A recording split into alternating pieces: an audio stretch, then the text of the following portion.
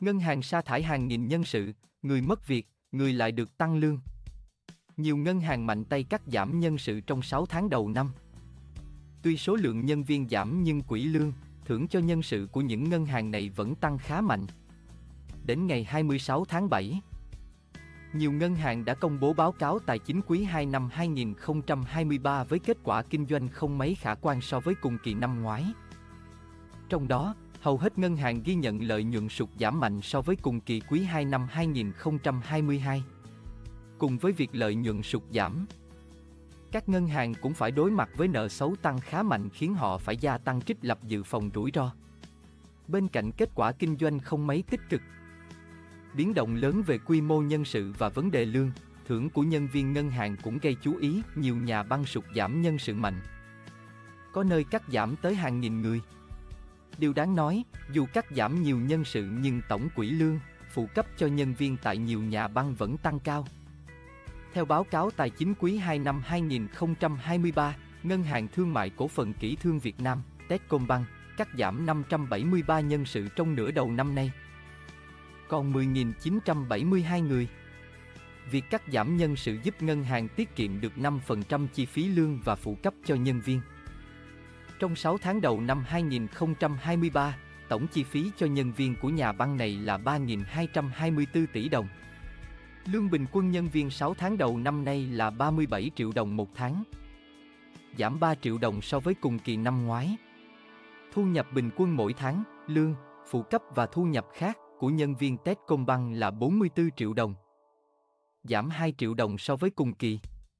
Con số này cùng kỳ năm ngoái là 46 triệu đồng, cao nhất toàn ngành.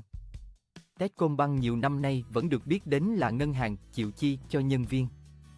Cắt giảm nhân sự mạnh nhất là ngân hàng thương mại cổ phần bưu điện Liên Việt, Vbank. Tính tới ngày 30 tháng 6, nhân sự tại Vbank là 10.818 người. Giảm 1.385 người so với cuối năm 2022 và giảm 1.160 người so với cùng kỳ năm ngoái. Tuy giảm nhân sự nhưng lương của nhân viên Vbank lại tăng. Khoản chi lương và phụ cấp nhân viên 6 tháng đầu năm 2023 của Vbank ghi nhận là 1.349 tỷ đồng, tăng 15% so với cùng kỳ. Trong 6 tháng đầu năm, mỗi nhân viên Vbank nhận 20,8 triệu đồng một tháng từ tiền lương và phụ cấp, tăng 4,5 triệu đồng một tháng so với cùng kỳ năm ngoái.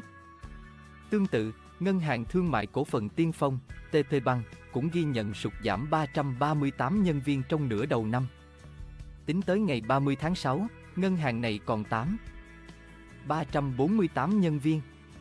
Dù nhân sự giảm nhưng quỹ lương TP Bank lại tăng, giúp thu nhập những người ở lại tăng theo chi lương và phụ cấp nhân viên nửa đầu năm 2023 của TP Bank là 1 946 tỷ đồng, tăng 21,7% so với cùng kỳ. Thu nhập bình quân của nhân viên TP Bank tăng lên 38,8 triệu đồng một tháng trong nửa đầu năm 2023. So với cùng kỳ năm ngoái, con số này tăng tới 8,7 triệu đồng một tháng.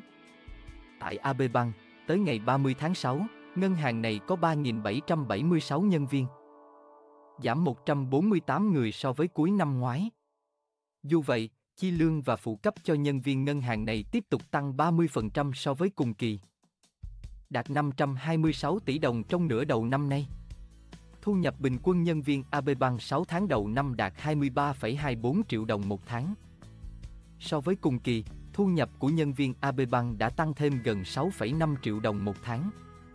Trái ngược với xu hướng cắt giảm của nhiều ngân hàng. 6 tháng đầu năm nay, Baka Bank có thêm 150 nhân sự, tăng 600 người so với cùng kỳ năm ngoái. Tại thời điểm 30, 6, số nhân viên của 3K băng là 3. 349 người. Thu nhập bình quân của nhân viên 3K băng trong 6 tháng đầu năm nay là 20,049 triệu đồng tháng, tức tăng thêm 4. 6 triệu đồng một tháng. Tuy nhiên, các tính toán nêu trên mới chỉ là phép tính bình quân, cào bằng giữa các vị trí trong ngân hàng. Con số thu nhập thực tế lãnh đạo ngân hàng từ cấp phòng cao gấp nhiều lần nhân viên cấp dưới.